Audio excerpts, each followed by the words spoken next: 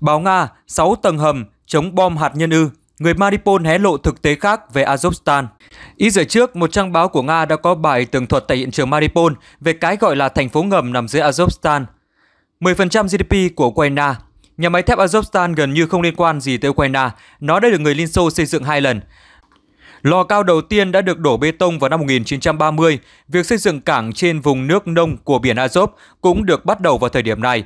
Thị trấn Mariupol yên tĩnh đã biến thành một công trường xây dựng khổng lồ. Vào năm 1939, một trong những lò cao của Azovstan đã lập kỷ lục thế giới về sản lượng sắt 1.614 tấn mỗi ngày. Vào tháng 9 năm 1943, khi phải rút khỏi Mariupol, quân Đức đã cho nổ tung mọi thứ bao gồm lò cao, lò nhung lộ thiên, nhà máy điện. Nhưng chỉ 2 năm sau, Azovstan không chỉ được phục hồi mà còn bắt đầu sản xuất kim loại cán và trong suốt những năm tiếp theo dưới thời Liên Xô, việc sản xuất tiếp tục được mở rộng. Sau khi Liên Xô tan rã, tận dụng những lợi thế như than cốc Donetsk và khí đốt rẻ của Nga, Azovstan vẫn tiếp tục kiếm lợi nhuận cho Ukraine lên tới khoảng 10% GDP của nước này. Ngay từ ngày đầu tiên của chiến dịch quân sự của Nga tới Ukraine 24 tháng 2, các chiến binh của Trung đoàn Azov, đơn vị cánh hữu khét tiếng của Ukraine, đã bắt đầu đưa khí tài quân sự hạng nặng tới Azovstan. Trước đó, nhà máy đã ngừng hoạt động, 14.000 nhân viên của nhà máy có thể đã di tản. Azovstan một lần nữa bị ảnh hưởng bởi xung đột. Tại sao lại là Azovstan? Tại sao người Ukraine lại chọn Azovstan là trung tâm phòng thủ chính ở Mariupol? Đầu tiên là về quy mô khu phức hợp công nghiệp rộng 11 km vuông và hai rào cản tự nhiên, biển và vùng nước ngập của sông Kanimus ở ba hướng Bắc, Tây và Nam. Lực lượng Ukraine sẽ chỉ phải đối phó với một hướng tiến công chính, các tòa nhà liền kề ở phía đông Azovstan. Căn cứ vào cuộc phỏng vấn một công nhân, có thể thấy Azovstan đã trở thành pháo đài từ năm 2015.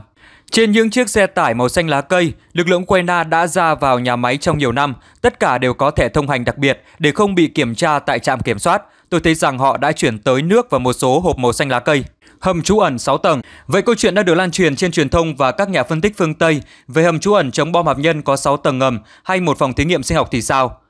Phóng viên của tờ báo đã gặp ông Vitali, một cựu công nhân nhà máy ở ngay trung tâm Mariupol, người tiết lộ rằng vợ mình đã làm việc ở Azovstal cho đến ngày cuối cùng 24 tháng 2 và nhìn thấy cảnh xe tải chạy qua lại, xe tăng chạy qua trạm kiểm soát trung tâm. Ông nói rằng có nhiều đường hầm dẫn dây cáp, đường ống dưới thành phố, có một đường ống đường kính 1,5 mét dẫn hơi nước từ một nhà máy nhiệt điện, cũng có những hầm trú ẩn bom có sức chứa khoảng 60 người, được trang bị lọc không khí, cả thủ công và điện. Ông Vitaly xác nhận rằng có một số lượng chưa xác định công nhân Azovstan đã tham chiến ở Donbass và có thể giả định rằng những người này đã dẫn đường cho các chiến binh Ukraine qua các tầng thấp hơn của nhà máy. Máy bay trinh sát của Nga hiện vẫn không ngừng theo dõi Azovstan, tuy nhiên theo lời của một quân nhân điều khiển máy bay không người lái UAV, họ không phát hiện ra đối phương trên mặt đất. Nhìn chung, toàn bộ hệ thống phòng thủ của phía Ukraine trong Azovstan được xây dựng trên hai khu vực kiên cố nhỏ hơn ở khu trung tâm và phía nam nhà máy. Việc Azovstan được khôi phục sau Thế chiến II và hoàn thành vào những năm 1950 khi cuộc chạy đua hạt nhân đang bùng nổ, có nghĩa là nó có những hầm tránh bom lớn nằm ngay dưới các tòa nhà hành chính. Theo một nhân chứng am hiểu về hệ thống hầm tránh bom của nhà máy, thông tin về việc các hầm trú ẩn được kết nối với nhau là vô nghĩa vì nó mâu thuẫn với khái niệm bảo vệ chống lại các tác hại của khí tài hạt nhân và hóa học. Nhưng có một hành lang dành cho những người ở nhà máy, dẫn từ đài tưởng niệm ở trung tâm tới lối ra vào chính. Nó được thiết kế cho các cấp quản lý và các kỹ sư rời khỏi nhà máy trong trường hợp khẩn cấp. Ngoài ra có một lối đi khác giúp lượng lớn nhân sự di chuyển giữa các ca làm việc xung quanh nhà máy. Khi các phóng viên hỏi thẳng rằng các chiến binh Ukraine đang ở đâu, người đối thoại cho rằng rất có thể họ đang ở trong hai hầm tránh bom dưới bộ phận cán kim loại và xưởng đúc. Chúng có thể chứa 1.780 người. Chúng nằm sâu từ 6 đến 10 mét và phủ một lớp mái bằng bê tông. Hệ thống lọc khí được thiết kế để có thể hoạt động độc lập trong một tháng. Có phòng cho máy phát điện chạy dầu, bệnh xá cho cơ sở chỉ huy và nhân viên chỉ huy, giếng nước và đường nước thải, nguồn tin lưu ý. Căn cứ vào các video được phía Ukraine đăng tải gần đây, giả định rằng các chiến binh Ukraine cùng gia quyến, các chiến binh nước ngoài và một số công nhân nhà máy đang ở đó rất có thể là sự thật. Chuyện gì sẽ xảy ra tiếp theo sau khi Tổng thống Nga Putin ra lệnh ngừng tấn công bộ binh? Cho đến nay, các cuộc tập kích pháo binh ồ ạt cũng đã dừng lại. Theo chỉ huy tiểu đoàn Vostok, dân quân Cộng hòa Nhân dân Donetsk tự xưng Alexander Khodakovsky, họ đang thực hiện một mệnh lệnh một con ruồi cũng không lọt. Chúng tôi đang rút các đơn vị sang các hướng khác và chỉ để lại lực lượng vừa đủ xung quanh Azovstan để khống chế đối phương từ mọi hướng. Họ sẽ ở đó bao lâu? Theo kinh nghiệm của bản thân tôi, với tư cách là một người tham gia bảo vệ Slaviansk năm 2014, trận Kramatorsk, chiến thắng của phía Ukraine sau khi bao vây và đẩy lui Donetsk, họ sẽ không thể trụ được lâu hơn nữa. Nga và Ukraine đổ lỗi cho nhau vì hành lang nhân đạo từ nhà máy Azovstal thất bại. Hành lang nhân đạo di rời dân thường bị mắc kẹt tại nhà máy thép Azovstal ở Mariupol đã thất bại. Quân đội Nga cho biết ngày 25 tháng 4, Moscow và Kiev đã đổ lỗi cho nhau vì nỗ lực di rời không mang lại kết quả. Chính quyền Kiev một lần nữa làm gián đoạn hoạt động nhân đạo này. Tính đến 20 giờ ngày 25 tháng 4, không ai sử dụng hành lang nhân đạo được đề xuất. Ông Mikhail Mizintsev, người đứng đầu Trung tâm Quản lý Quốc phòng của Nga, cho biết trong một tuyên bố. Quan chức này đổ lỗi cho chính quyền Ukraine, cho rằng phía Kiev đã không thực hiện bất kỳ bước thiết thực nào để tạo điều kiện cho việc di rời dân thường mắc kẹt tại nhà máy Azovstal. Hành vi hoàn toàn phi logic và thiếu nhất quán của chính quyền Kiev cho thấy họ thờ ơ với số phận của người dân, ông Mizintsev nhấn mạnh. Trước đó cùng ngày, ngay sau khi hành lang được mở lúc 14 giờ, Phó Thủ tướng Ukraine Irina Vereshchuk đã đổ lỗi cho phía Nga về việc di rời dân thường thất bại. Ban đầu bà Vereshchuk nói với giới truyền thông Ukraine rằng Kiev đã sẵn sàng làm mọi thứ để hành lang này hoạt động, nhưng ngay sau đó bà tuyên bố hành lang nhân đạo không được thiết lập phù hợp và không hoạt động.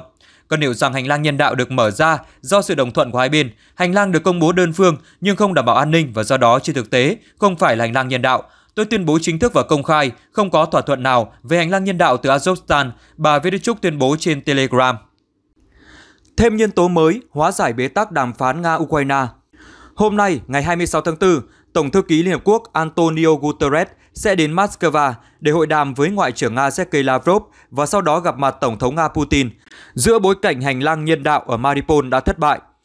Quân đội Nga ngày 25 tháng 4 cho biết hành lang nhân đạo di rời dân thường bị mắc kẹt tại thành phố thép Azovstal ở Mariupol, miền nam Ukraine đã thất bại. Chính quyền Kiev một lần nữa làm gián đoạn hoạt động nhân đạo này. Tính đến 20 giờ ngày 25 tháng 4, không ai sử dụng hành lang nhân đạo được đề xuất. Người đứng đầu Trung tâm Quản lý Quốc phòng của Nga, Mikhail Midinsev cho biết trong một tuyên bố. Cùng ngày, Ngoại trưởng Nga Sergei Lavrov đã kịch liệt chỉ trích việc các nước thành viên Tổ chức Hiệp ước Bắc Đại Tây Dương NATO chuyển giao khí tài cho Ukraine. Theo ông, Moscow coi hành động cung cấp khí tài cho Ukraine của NATO thực chất là việc tham gia vào một cuộc chiến ủy nhiệm. Đề cập đến các cuộc đàm phán Nga-Ukraine hiện đang lâm vào bế tắc, Ngoại trưởng Nga cho rằng phía Ukraine chưa thực sự tham gia vào đàm phán. Về phía Kiev, Oleksiy Arestovich, Cố vấn của Tổng thống Ukraine hôm 25 tháng 4 cáo buộc các lực lượng Nga đã tiếp tục tấn công nhà máy thép Azovstal, nơi một số chiến binh của Ukraine đang cố thủ tại Mariupol. Họ tiếp tục tấn công hệ thống phòng thủ của chúng tôi trong khu vực nhà máy Azovstal, sử dụng máy bay, pháo, xe tăng và cố gắng tiến lên bằng các nhóm tấn công vi phạm mệnh lệnh từ chỉ huy tối cao của họ, ông Arestovich nói. Giữa bối cảnh này, Tổng thư ký Liên Quốc Antonio Guterres dự kiến sẽ có các chuyến thăm Moscow và Kiev với hy vọng thảo luận về các vấn đề ngừng bắn và hỗ trợ người dân Ukraine. Cụ thể, ngày 26 tháng 4, ông Guterres sẽ đến Moscow để hội đàm với Ngoại trưởng Nga Sergei Lavrov và sau đó có cuộc gặp mặt với Tổng thống Putin. Vào ngày 28 tháng 4, Tổng thư ký Liên Hợp Quốc sẽ tới Kiev và có cuộc gặp mặt với Tổng thống Ukraine Volodymyr Zelensky. Các cuộc hội đàm đều do người đứng đầu Liên Hợp Quốc khởi xướng. Chỉ vài ngày sau khi bắt đầu chiến dịch quân sự đặc biệt của Nga tại Ukraine, ông Guterres thừa nhận trách nhiệm của Liên Hợp Quốc về việc không ngăn chặn được các hành động thù địch, nhưng Tổng thư ký nhất quán kêu gọi Moscow và Kiev giải quyết cuộc khủng hoảng thông qua ngoại giao.